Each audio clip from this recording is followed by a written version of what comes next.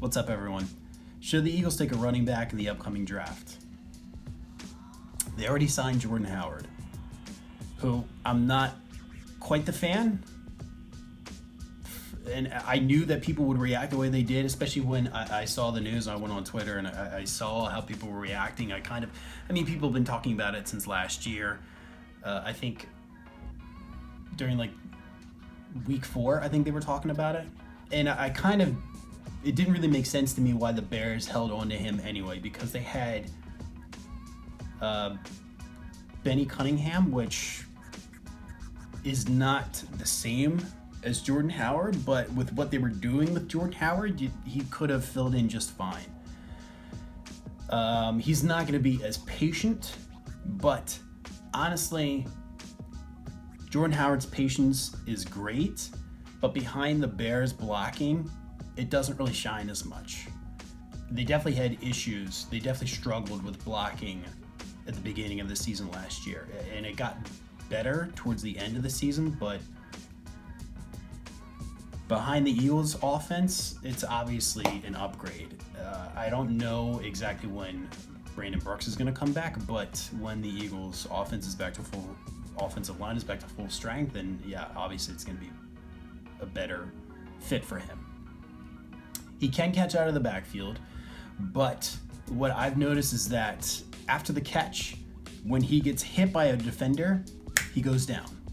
And not to say that he is frail and just, you know, can't absorb a hit. He definitely absorbs hits, but it's like um, the unstoppable force all of a sudden gets overpowered by the immovable object, you know? Obviously, it's all about physics some guys know how to position themselves to maybe spin off of a block, maybe juke someone out. They know how to slow down and do that. With him, it's just, it's like he's uh, Bowser in Mario Kart, like, or, or Donkey Kong. He just gets up to speed and then, you know, he doesn't have the finesse, obviously. But I mean, I have seen him make, you know, jump cuts, things like that. Uh, like I said, he's a he's a patient runner, so that's nice. He can wait for his blocks to develop. I've actually seen him make decent cuts. Um, but he he does seem, at least in the at least in the catching game, he seems to not really fight for yardage.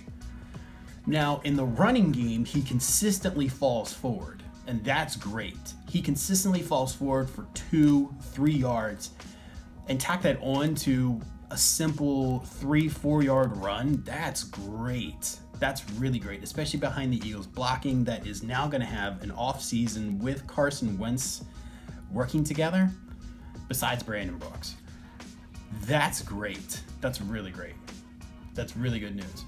But one of the things that the Eagles really like to do that they've always done, especially since Andy Reid, is this sort of scat back kind of confusing backfield. One of the biggest, um, one of the, uh, one of my most favorite players, especially in the Eagles uh, franchise, is Brian Westbrook, and I would I, I remember going to uh, games when I was younger and, and actually wa- watching Brian Westbrook in person. I actually used to. I've been going to games since uh, Ricky Watters was the featured back.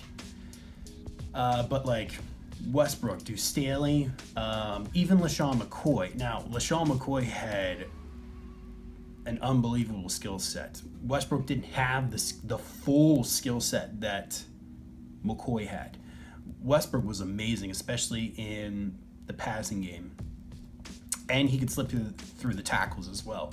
McCoy had a little bit more power behind him. And he was just, you know, he could bounce it outside so easily, turn on the Jets. I mean, you know, to McCoy was to me was was the total package as far as like the Eagles running backs go. But now they have so this is basically another point to why the Eagles should not take a running back in the upcoming draft. They have Jordan Howard, who can move the chains, who will be able to move the chains consistently fall forward consistently.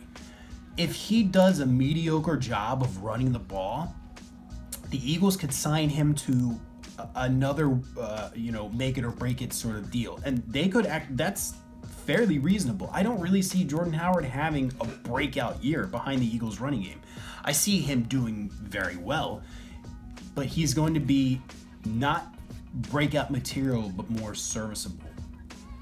And that's exactly what the Eagles are trying to do. They're trying to take pressure off the passing game so that when they actually go to pass with all these weapons that they have, they have you know, Alshon, Jeff, uh, uh, Alshon Jeffery, they've got um, DeSean Jackson, they've got their two tight ends, they've got Nelson Agholor, they can throw the ball down the field, they've got, um, they can, you know, carve you up in the slot, um, and then they've got just consistent Jeffery on the outside.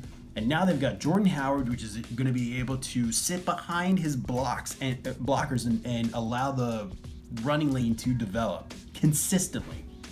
Then you've got Corey Clement and Wendell Smallwood coming out of the backfield. And you can also flip those guys so that you don't always have to have Jordan Howard in there for a run.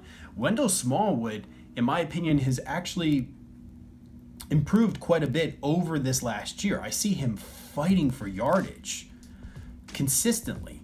He's not going to bowl you over, but he consistently fights for yardage. And Clement is so good in the passing game he's he's not he he's a little stiff in the hips. He's not going to shake someone off of him. But with all the other distractions going on in the offense, he's going to be left wide open. You have him come up through the the trenches and then, you know, a quick cut out and he's open in the flat. So I don't think that the Eagles should take a running back in the draft. I mean, you, I'm sure you kind of came to that conclusion by the title of the video, but um, it just doesn't make sense to me because, in recap, they signed Jordan Howard. He's going to be a serviceable, serviceable back. They've got two scat backs that are perfectly good in uh, the passing game, and Wendell, like I said, Wendell Smallwood is uh, very complimentary in the run game as well. Clement can also run, but he's not going. You need clear, defined lanes for Clement to make it happen. This is a defense heavy draft, obviously. So don't take a running back. Just stack up take an offensive tackle in the first round, whether it's Cody Ford, Greg Little, Andre Dillard. Honestly, I'm the biggest on Cody Ford. If they can get Cody Ford with the 25th pick, that's fantastic. Even if not, try for uh, Tytus Howard in the second round, and they could get a steal. Someone, someone is going to fall to them with the 25th pick. With everyone talking about more quarterbacks saturating the first round, and possibly you've got two tight ends moving into the first round. Um, depending on where the Dolphins draft, they might take uh, Jeffrey Simmons if they take him in the first round. I've seen scenarios where Simmons goes in the second. It's hard to say, but I happen to think that Simmons is going to go in the first round. With all that saturation, the Eagles are definitely going to walk away with um, the offensive tackle that they want, which they could even draft up a little bit for, but I wouldn't advise that. But then again, I'm not Howie Roseman, nor do I pretend to be. Or they can walk away with um, a really good pass rusher, or um, whether it's on the outside or the inside. They're basically with the 25th pick, they're going, they're going with uh, someone in the trenches they're not going cornerback. That gets on my nerves when I see people. I see these guys um, with their mock drafts talking about. Um, I mean, I, I, like Trayvon Mullen. Um, I see them talking about DeAndre Baker. It's not going to happen. They're not taking. They're not taking. Um, they're not taking a cornerback. they're not even going to take safety. They would wait until the second round to take safety, and they're going to take a cornerback later. It's not going to happen. Plus, Sidney Jones is coming back, which he played a little bit last year. I know injuries were a concern. I, I have I have faith that um, this is going to be a, a, a, big step forward for him. You're going to see a lot more of Avonte Maddox. You're going to see more of Cra- Cre'Von LeBlanc. Um, Rasul Douglas has um, Rasul Douglas is a playmaker. I know he's not the he's if he had more speed, he would definitely be um, he would definitely be uh, starting on the outside, 100%. But it seems like every time he comes into the game off the bench, he picks the ball off. It just it, it just seems like he, he is a playmaker. Uh, he's he's a little underrated, I think. But anyway, the Eagles should not take a running back in this draft. And that's my case. Thanks for watching.